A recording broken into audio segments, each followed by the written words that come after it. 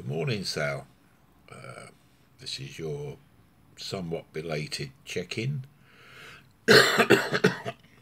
uh, bits and pieces of news again. Um, I've now got the date for my referral up to uh, St George's, you know, the specialist up there.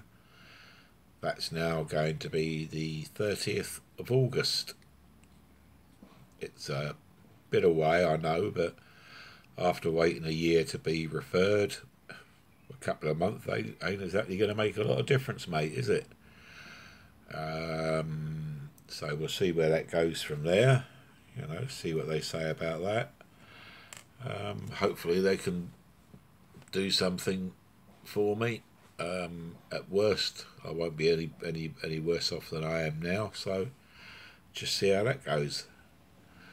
Um, checked with my doctor regarding the uh, nose meds because they said to check with my GP if I've been on long term steroids, and he checked into it and said no, it's fine. The dosage is too low to worry about, so uh, no problems there. I can start that tonight, and hopefully I might be able to start breathing better at night, which is good news.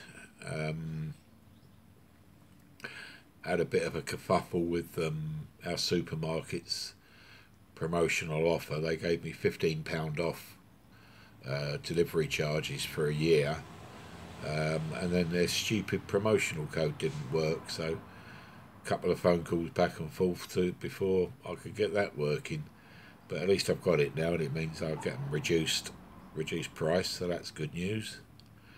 And um, as you've hopefully now seen, uh, the lady, the Filipino lady, turned up today to walk Harvey, and uh, I just went across just to take a little short video out for you if I could. It's not not much. They were too far away by the time I got things sorted out, mate. So, uh, but hopefully that's okay, and um, everything seems to be going well there. So that's good news.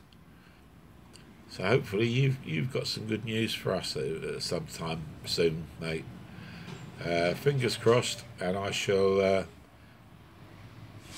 do another one tomorrow. Hopefully a little bit earlier for you. Keep your pecker up, Sal. We're rooting for you, and uh, we're hoping that you're going to improve soon, mate. Bye for now.